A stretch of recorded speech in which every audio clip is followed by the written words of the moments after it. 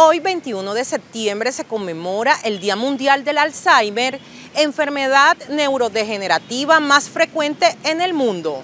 Desde 1994, por iniciativa de la Organización Mundial de la Salud y de la Federación Internacional del Alzheimer, se conmemora el 21 de septiembre el Día Internacional de la Enfermedad de Alzheimer.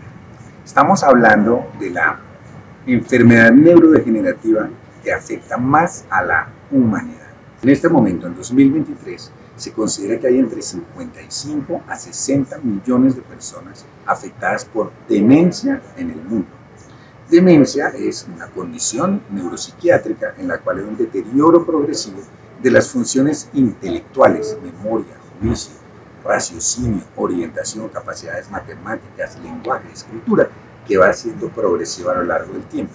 Y de esos 55 a 60 millones de personas afectadas por demencia, entre el 60 al 70% tienen demencia tipo Alzheimer. Es entonces una enfermedad altamente prevalente que afecta predominantemente a adultos mayores. La edad a la cual suele aparecer la forma de Alzheimer más común, que se llama Alzheimer esporádico, es a partir de los 65 años. Hay una forma familiar que no afecta a más de 2 al 4% de la población que puede aparecer antes y que está muy, muy ligada a unos genes plenamente identificados. Pero la más común es la forma esporádica a partir de los 65 años. Y el principal factor que hace que aparezca más demencia tipo Alzheimer es la edad. A mayor edad, mayores probabilidades de tener demencia tipo Alzheimer. Como todos sabemos, el planeta tiene una tendencia a algo que se llama el envejecimiento poblacional.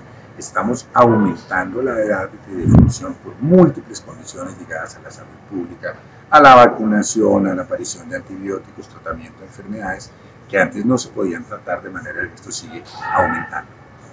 Afecta ligeramente más a mujeres que a hombres y sus primeras manifestaciones, la primera de todas es un trastorno de la memoria y frecuentemente de la memoria a corto plazo, de olvidar dónde dejó las cosas, de olvidar una llamada, de olvidar el rostro de una persona que se la encuentra y no sabe muy bien quién es, empezar a olvidar citas y esto va progresando, después puede olvidar claves para acceder a cajeros, después puede olvidar dónde dejó objetos importantes, puede olvidar en qué gastó el dinero, pero luego vienen trastornos de orientación, de cálculo, de razonar frente a diferentes cosas y va progresando a lo largo del tiempo generando un deterioro muy importante de las funciones intelectuales. Sin embargo, muchas funciones visomotrices se mantienen.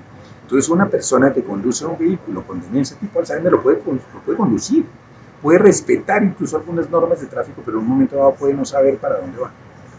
Hay pacientes que pueden practicar un deporte, por ejemplo tenis, y pueden jugar y poner y ubicar bien la bola para, de alguna manera, despistar y ganarle al contrincante, pero no pueden llevar bien la contabilidad para saber cómo va el juego y qué está pasando. Entonces pierden una serie de actividades, de funciones intelectuales superiores y conservan una serie de actividades motrices.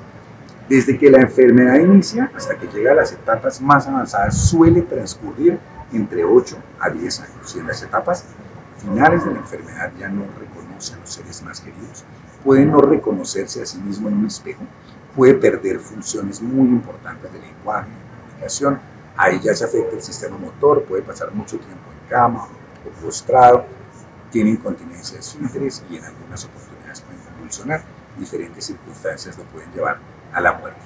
Existe tratamiento, un tratamiento que involucra varios aspectos, uno de ellos muy importante, unos medicamentos que en realidad son cuatro, y estos cuatro medicamentos están totalmente disponibles en nuestro país.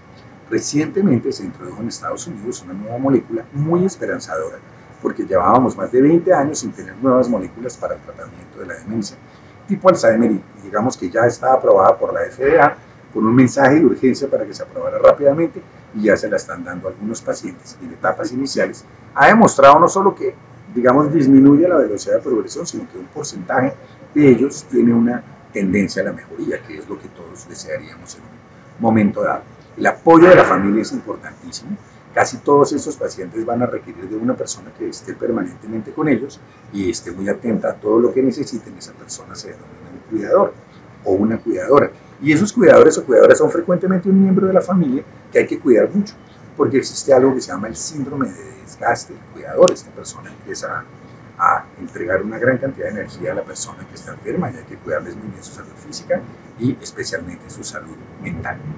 También es muy, muy importante el apoyo de la familia en todos los sentidos, no poner la persona a un lado, de alguna manera involucrarla en las actividades que sean eventualmente muy sencillas, por ejemplo, invitarla a que si hay una reunión familiar, ayude a poner los cubiertos y a vestir la mesa, eh, puesto que de pronto puede conservar unas habilidades, dialogar con ellos, disfrutar de la música, disfrutar de muchas cosas. Y lo último es que existen unos programas de rehabilitación diseñados para ellos.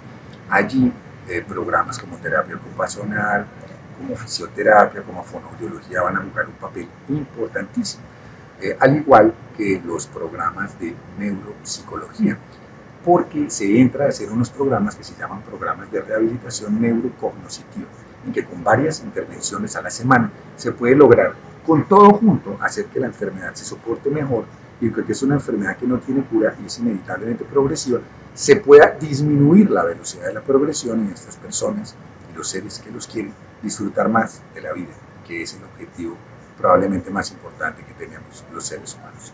Tengamos conciencia sobre la importancia de la demencia tipo Alzheimer, sobre lo que sienten estas personas y sus familias. Son personas que siguen siendo seres humanos importantes para todos nosotros.